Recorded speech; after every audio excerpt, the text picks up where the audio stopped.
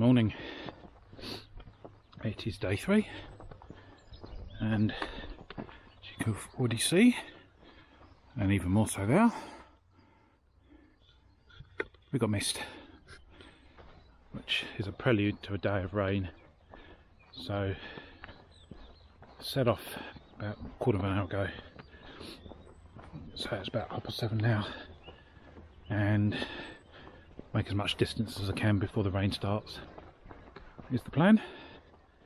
Uh, I don't really have a clear idea of where, where I'm going to aim for today because I really don't know how bad the rain's going to be and how that will affect progress. It'll either be one of those put your head down and just churn out miles sort of days or it will just be so thoroughly miserable that I won't get much done and I'll spend a lot of it sheltering.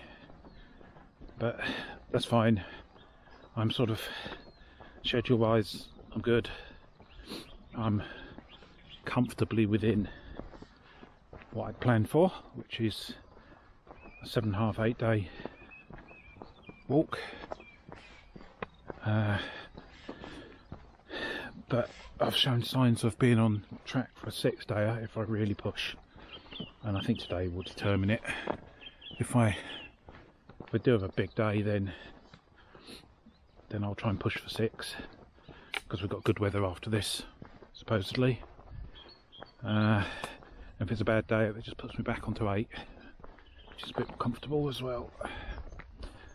So, plan for the day, apart from just surviving the rain, is to basically walk over lots of that sort of stuff. Up and down, up and down. Reminiscent of uh, a bit reminiscent of uh, doing the Southwest Coast Path. And as soon as you got up, you've got to go down and then back up again. So, got that. Um, at the moment, subject to progress, etc., I'm planning to drop into cocking. Um, not just because of the silly name. um, but there's a shop there and I could do with a few snacks and it may also provide a bit of shelter. Um, the way out from Cocking should be a water tap um, and if I'm clever about my way in which means avoiding the main road I can check the water tap works before I come back then I know i have got water for camp um, so yeah, right. Back on with it, I guess. See how much we can do before it gets miserable.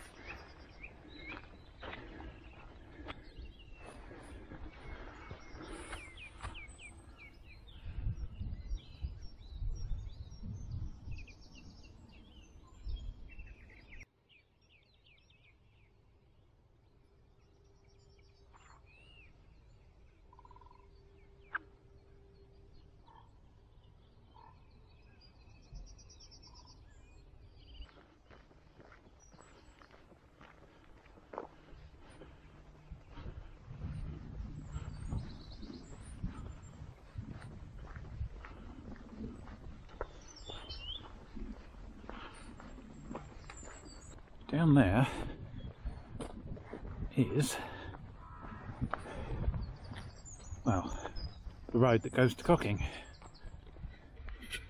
So I'd uh, pretty much decided I was going to go into Cocking for supplies.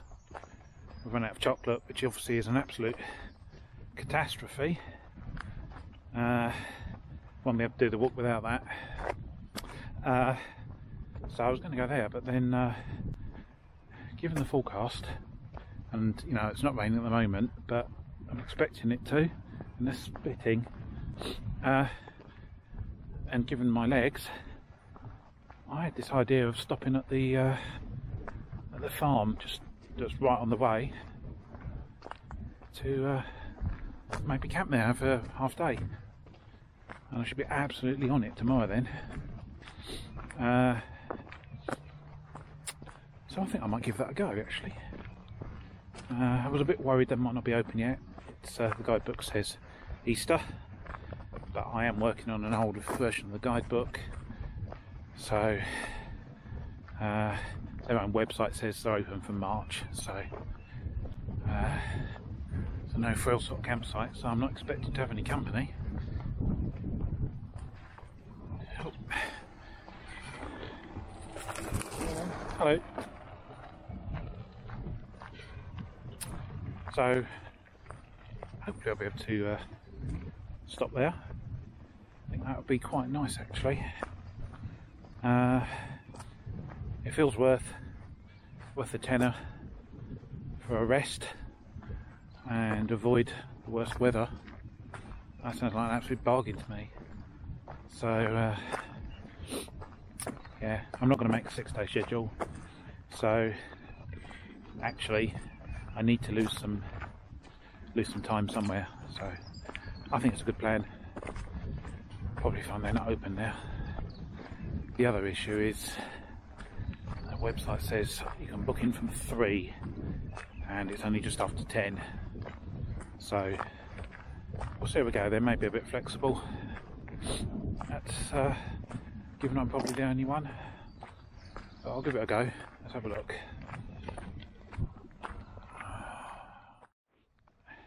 Rather than leave it to chance, just phoned the farm just to check they're open, and they are, which is good.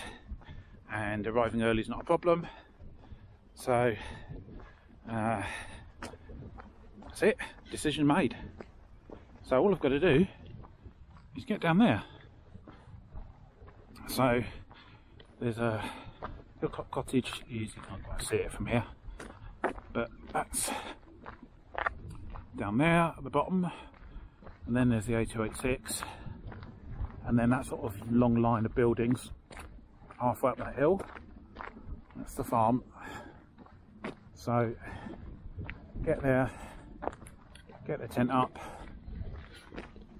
get everything dry under, under cover and then nice cup of tea and then walk into the village and get some food. Job done Nice.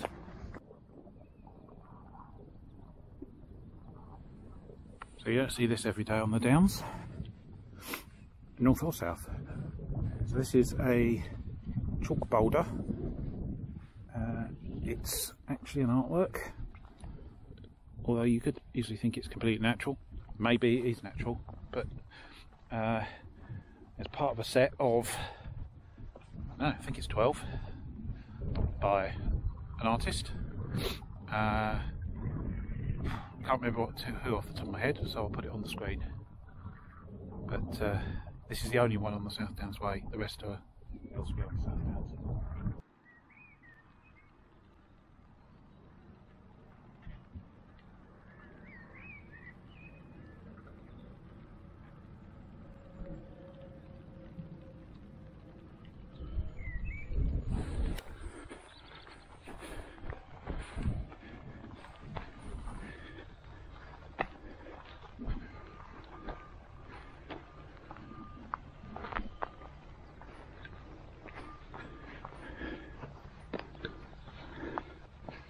Well, as you can see, campsite sorted.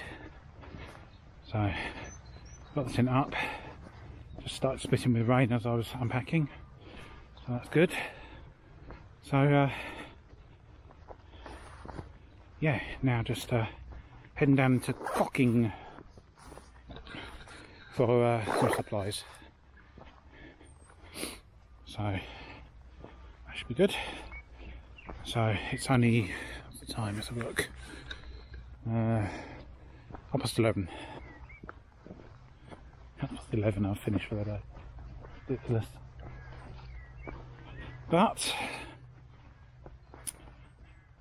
you know, that's one of the joys of having no fixed accommodation bookings. You can make it up as you go, and there isn't a single bit of me that that thinks it was a bad idea to stop.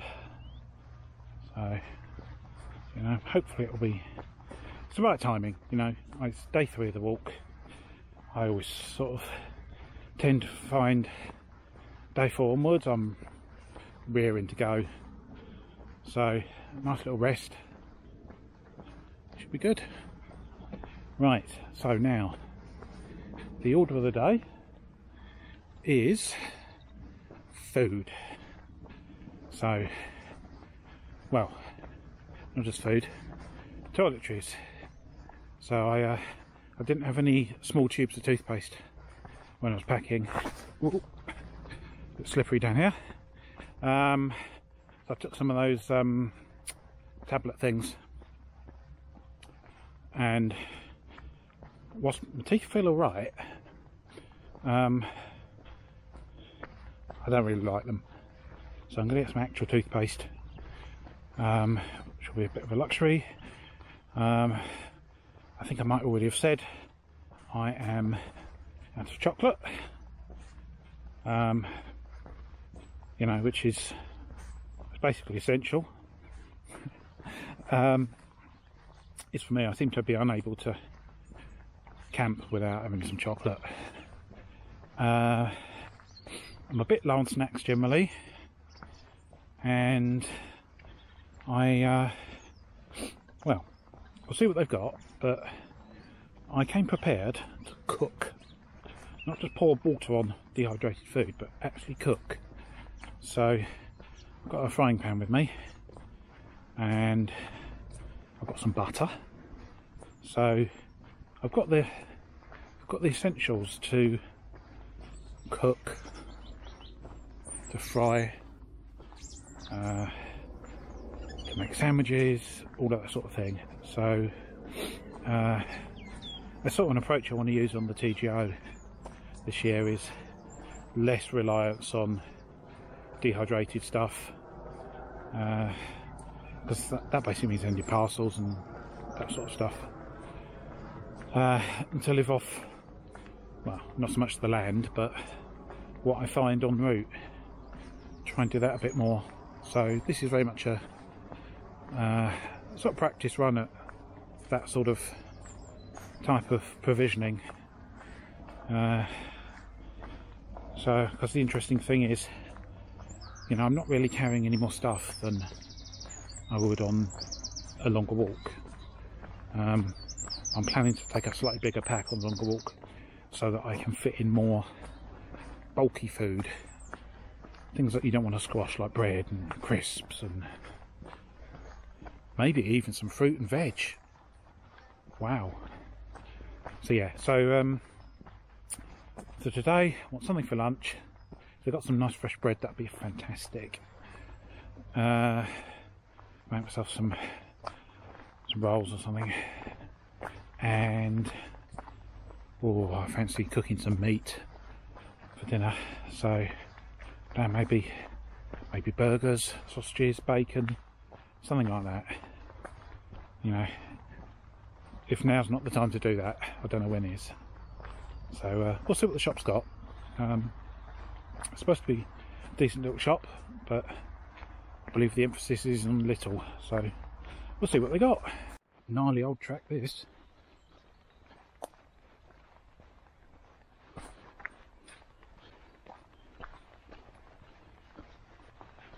Already slipped a couple of times. Looks like I'm going about to again. Oh, there's one, two,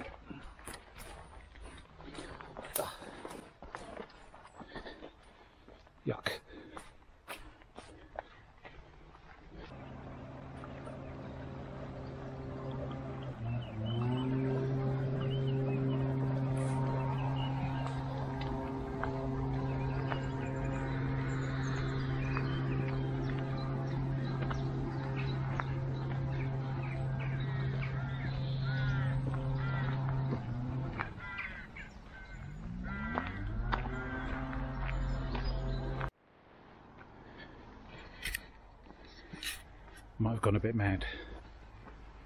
It's uh, cost enough.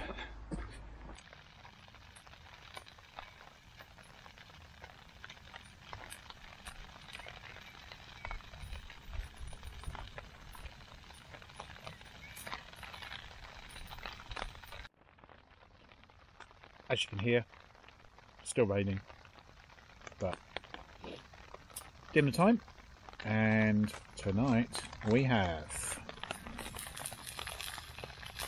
sausages, rolls, beer, and in the morning have bacon. And rolls, orange juice, and also got some pastries tucked away as well. So uh, it's nice to have some proper food